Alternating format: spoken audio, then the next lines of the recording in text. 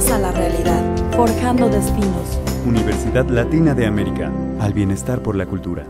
El gobierno estatal debe ponerse las pilas para hacer cumplir la ley y así la población pueda vivir en paz, fue el llamado que hizo el arzobispo de Morelia, Alberto Suárez Inda, a las autoridades. Yo le diría también al gobierno del estado que se ponga las pilas porque necesitamos respuestas eficaces, voluntad de veras de que se haga cumplir la ley, de que haya libertad para los ciudadanos para poder trabajar en paz. Existen diversas urgencias que atender en el Estado, como la protección a los ciudadanos y la estabilidad en los problemas financieros, señaló el arzobispo. Yo creo que urge que las autoridades pues realmente protejan a la ciudadanía y nos den oportunidades también.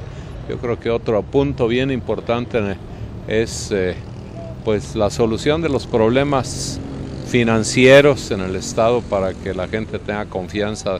Respecto de los grupos de autodefensa, el arzobispo dijo que el tema de seguridad no puede estar en manos de los ciudadanos, por lo que las fuerzas policiales deben reorganizarse.